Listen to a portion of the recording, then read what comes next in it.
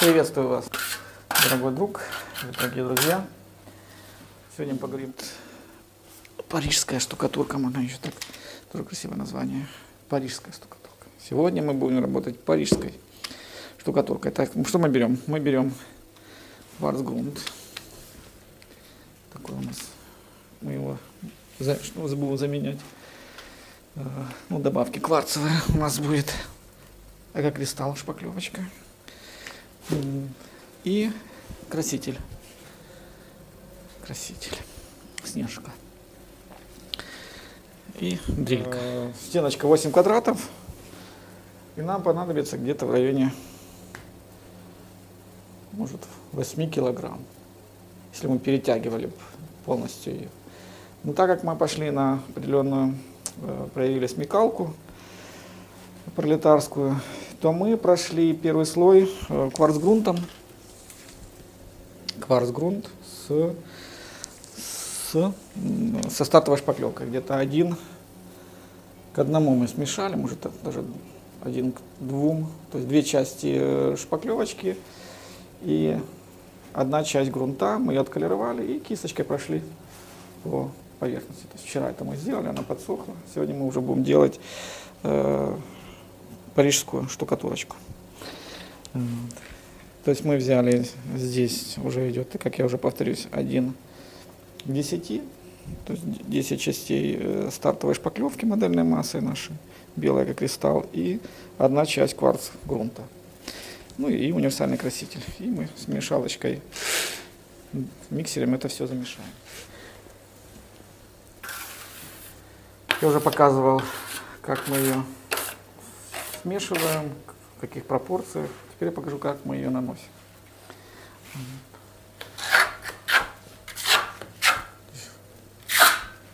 Сначала идут порциями материал, и потом эти кляксочками растягиваем на толщину зерна. Еще раз повторюсь, мы ее назвали парижская, да, или фламандская, да, она вот близко, то есть вы соединим несколько техник сегодня. Так что вы не переключайтесь, оставайтесь с нами и еще увидите очень много интересного. Что мы сделали еще? Э, мы добавили еще тот же э, универсальный краситель и чтобы вы имели представление, насколько вот он. Ну, насколько вам будет видно. Вот, вот какой основной. Ну, конечно, есть там на пол на полтона. Вот на полтона мы его затемнили. То есть тот же остаток, например, материала, который у нас был основной, мы добавили еще цвет. Тот универсальный краситель. Вот он. Вот такой у нас был универсальный краситель. И мы его добавили в нашу парижскую штукатурочку. И э, вот помните, мы соединяли наши островки маракешиком. И теперь вот этим темненьким мы еще добавим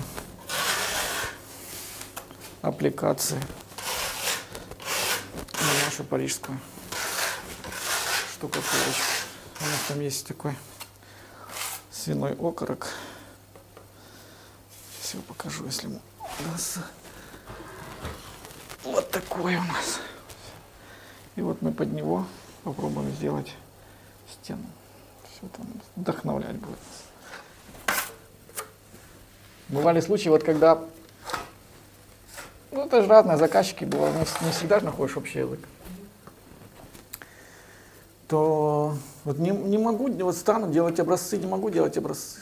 Вот, там, неделю, другую, вот не идет. Все, вот что такое такая размазня, вот то, что на душе, вот так оно и да, на, на стенке, да. То есть я говорю, что если плохо, то лучше не делайте. Вы ставьте. Вот. Возьмите, я говорю, коньячка, можете, говорю, бальзама, говорю. Все, поправили здоровье, сердечную каплю, да, поп... и все, настроение хорошее, и все, и вперед. А если нет, то лучше вон, взять, там, пойти на свежий воздух, посчитать облака, покормить голубей. Или это же, говорю, искусство, говорю. Это же, говорю, Монументальная, говорю, живопись. Это же художественная отделка стен.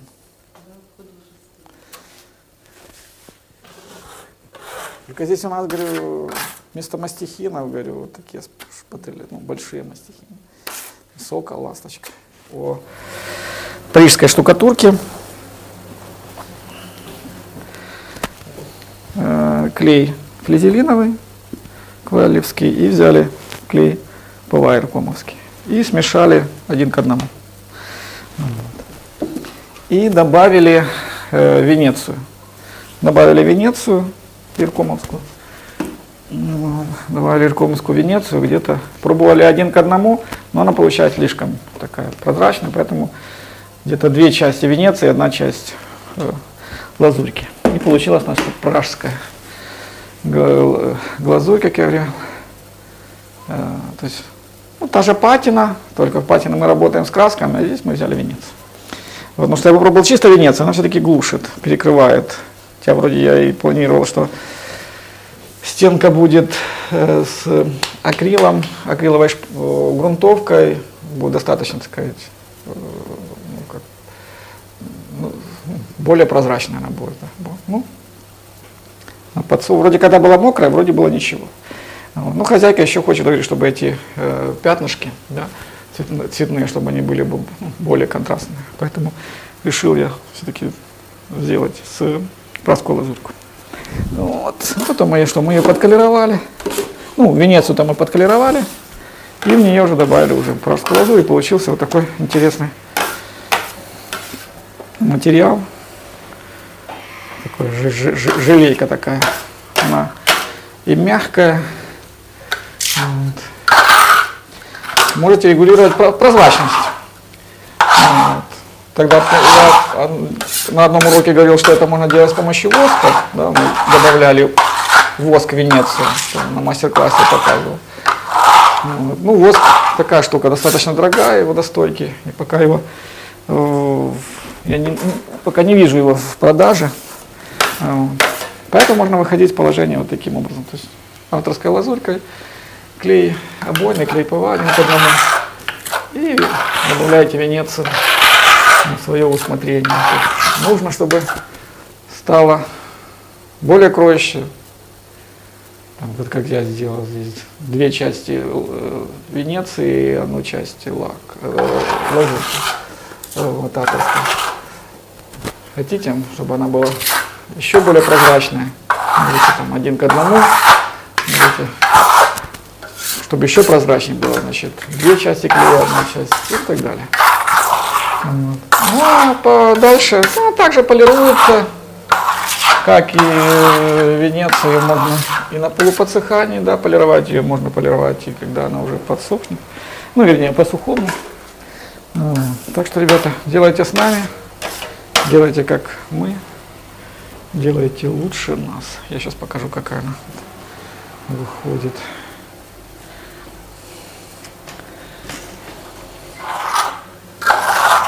Тоже наносим мы по диагонали.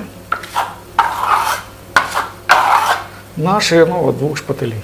Вот наша. И даже если тут и получается, может быть, получится лессировочка да, на стыке, то она будет такая более природная. Вот. Ну, она чуть, чуть она прихватила. Вот она уже полируется. Сейчас я покажу вам.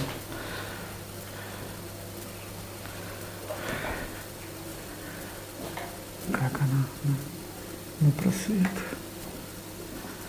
блестит.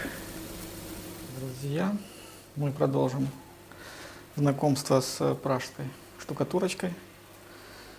Сейчас мы сделали авторскую лазурь перламутровую с красителем и золотом. То есть золотая декоративная краска, перлынка, один к одному золотом. И наша авторская лазурь на основе клея ПВА и клея обойного один к одному.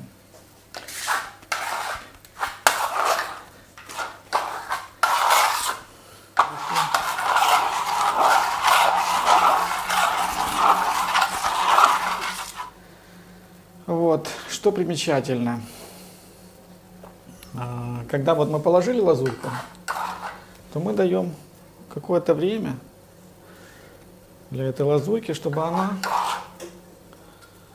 э, ну, как мы говорим, чуть выстоялась, что ли, да? И потом проходим э, по ней еще раз шпателечком. Что происходит? Происходит, получается, здесь есть остатки материала на стенке, получается остатки лазури.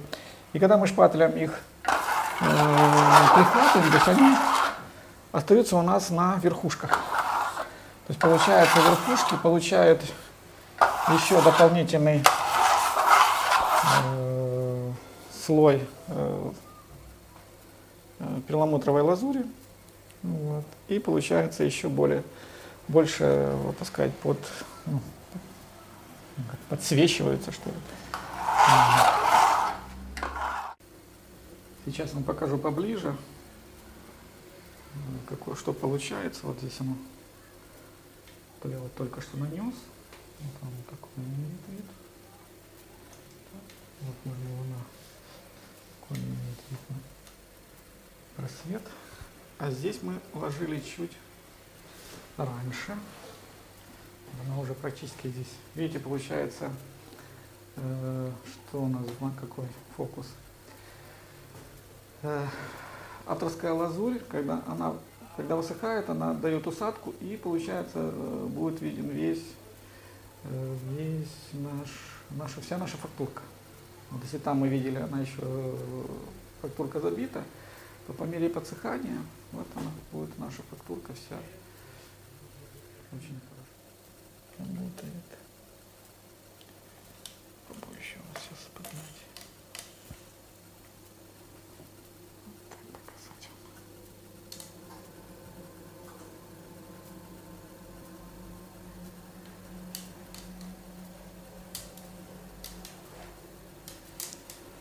Сейчас буду перемещаться, может она в разных ракурсах будет по-разному светиться. Поэтому.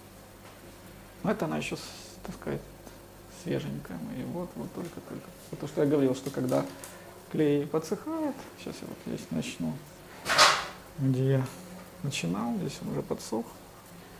Вот я вам вначале показывал. И вот эти все наши прожилочки, наша, наша фактурка, вот она вся видна. И вот она вот нас, насквозь на свет. Медленно, не спеша. Покажу.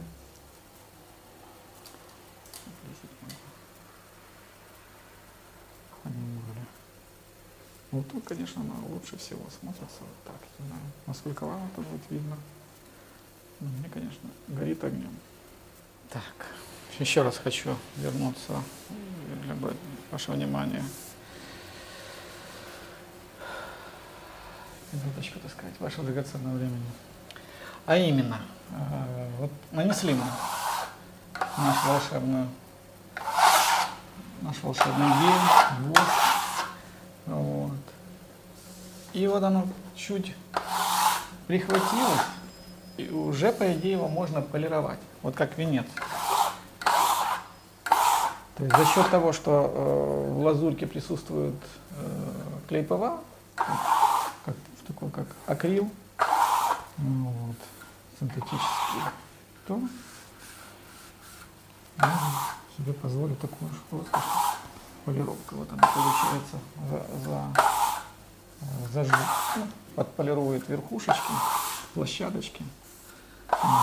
Ну и на ощупь тоже будет такая очень эффектная. Может еще возьмем шлиф машинку или вернее полировочную машинку, на полировочной машинке еще ее полезно. Но это вот, может быть, в следующий раз. Так что, ребята, делайте с нами, делайте как мы, делайте лучше. С вами был Экономов. Далее Буда.